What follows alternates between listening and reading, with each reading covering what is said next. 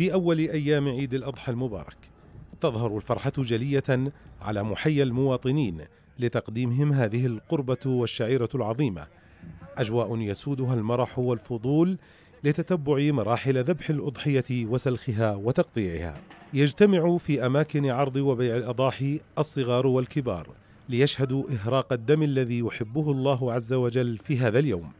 وعن النبي صلى الله عليه وسلم قوله ما تقرب عبد إلى الله تعالى يوم النحر بشيء هو أحب إلى الله من إهراق الدم وإنها لتأتي يوم القيامة بقرونها وأشعارها وأظلافها وإن الدم ليقع من الله بمكان قبل أن يقع على الأرض فطيبوا بها نفسا. إحنا العيد آه اللهم صل على سيدنا محمد فرحة للجميع. أجواء العيد الحمد لله رب العالمين. كل عام وأنتم بخير. الكل فرحان والكل مبسوط. وبضاعة متوفرة وبكمية عالية يعني. الأضحية هاي أنا من وأنا صغير وأنا بضحي. يعني أنا هذه الأضحية حتى أنا بضحي يعني مش وحدي بضحي أربعة وخمسة وستة. الحمد لله رب العالمين.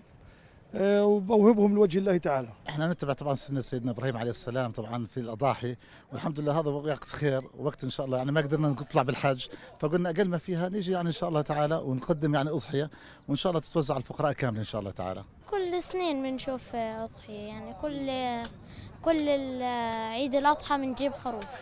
يرتبط عيد الأضحى المبارك ارتباطا كاملا بالأضحية التي هي إحياء لسنة النبي إبراهيم عليه السلام في امتثاله لأمر الله عز وجل وعزمه على تنفيذ الرؤيا بذبح ولده إسماعيل عليه السلام. والمسلمون حين يضحون يتمثلون معاني الفداء والتضحية لهذا الدين والاستسلام والانقياد لأمر الله. منصور العبادي التلفزيون الأردني عمان.